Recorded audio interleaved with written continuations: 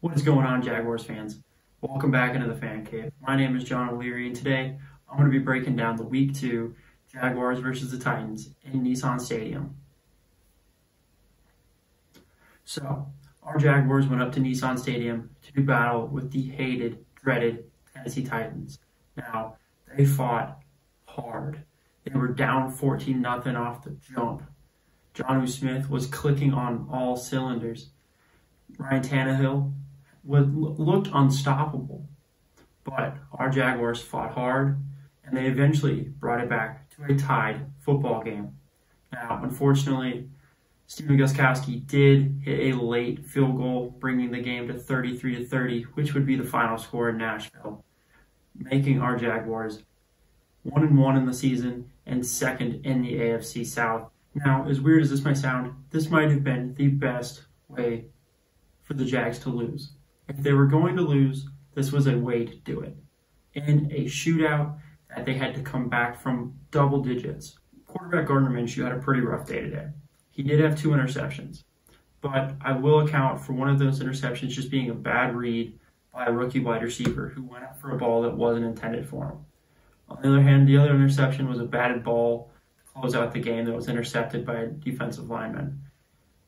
Those suck when you have when you have a, a, a shorter quarterback in the NFL, you're going to have to take those bumps and licks and push on. But on the bright side, Gardner Minshew did find eight different receivers in this game. He went 30 for 45. Normally, I don't like to see Gardner Minshew throw this much. That means the run game was not as heavily involved. But when you're down 14 nothing in the first quarter, there's a lot of ground to make up very quickly, which is just not conducive for a, a long ground and pound running attack. But I do give Gardner Minshew credit. He did have a heck of a game bringing this team back. He did throw for three touchdowns as well. He even found uh, brand new tight end Tyler Eifert. Uh, Eifert re- uh, recorded his first touchdown in a Jaguar uniform. Now, speaking of first in a Jaguar uniform, running back James Robinson. He not only tallied his first rushing touchdown in a Jaguars uniform. He also eclipsed the century mark today. He went 16 for 102 and one touchdown. Honestly, for an undrafted rookie playing in his second ever NFL game, he is showing out. He is showing every single hater, every single person that questioned why the team released Leonard Fournette prior to the start of the season. He is showing the NFL, the city of Jacksonville, and the rest of the AFC South I am a running back in this league, and I will be respected. He has been running hard, he's been running fast, and he has just been electric. He has been a great running back for this Jacksonville Jaguars offense. Another rushing threat that has actually emerged quite well in the Jaguars offense is uh, wide receiver Laviska Shenault.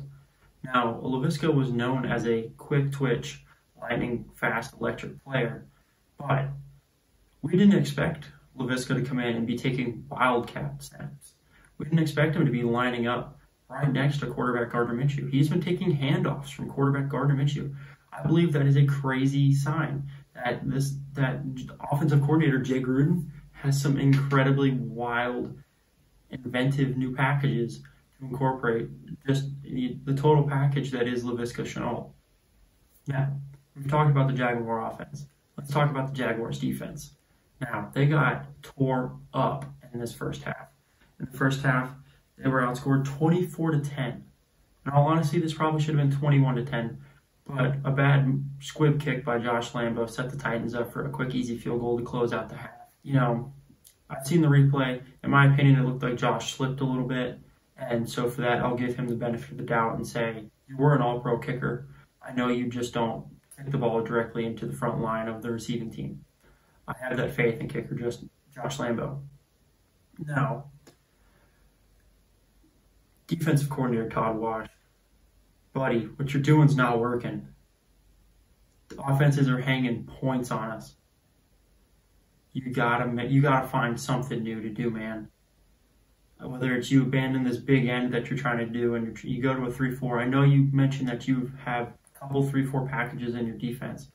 I know it would be tough to incorporate a three-four now, but you gotta you got to do something we're we're do we're we're just getting destroyed out there. That defense is not That defense is not playing well. You're talking about a team that had zero turnovers today.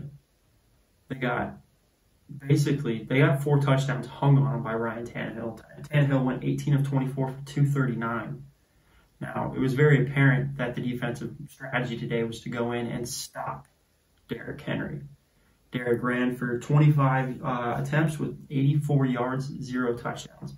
And if you'd have told me two, three days ago Derrick Henry will only have 84 yards at the end of this game, I very well might have told you that we were well off into our win.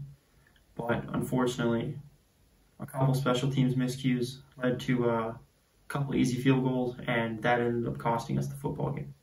Now, speaking of special teams miscues, Chris Claybrooks muffed two kicks today. Two kicks. Normally, I just I just disregard punts, but for once in my life, I've actually had to watch the punt returns, the kick returns, to, to ensure that the kick returner does not drop the kick. That just seems like, especially when you're brought in as a wide receiver slash kick returner, you should be able to handle. This is just something that I believe is unacceptable, and they really need to work on with him. Um, or maybe put Keelan Cole back there. He has returned kicks in the past. He's been he's been decent at it. I do believe that maybe Keelan Cole should be the other option for returning kicks instead of uh, Chris Claybrooks. Now we have one more first in a Jaguar uniform. We have defensive end K'Lavon Chaisson's first sack in a Jaguar uniform.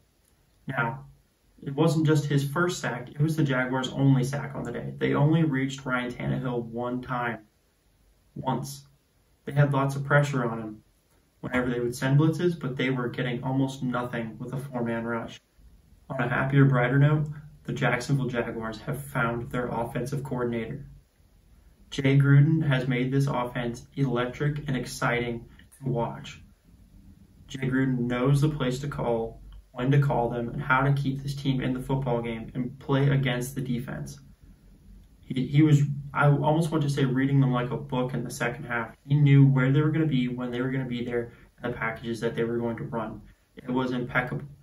The Jaguars honestly, whenever I was sitting on my couch watching the game today, I knew that if they could just get a couple stops, Gardner Minshew and Jay Gruden would have the plays dialed in, march down the field, and get touchdowns. And that they did. Jay Gruden is an awesome piece to add to this Jacksonville Jaguar team, and he has been a huge instrument in helping the Jaguars be as successful as they were. And I'll leave you with this, Jaguars fans.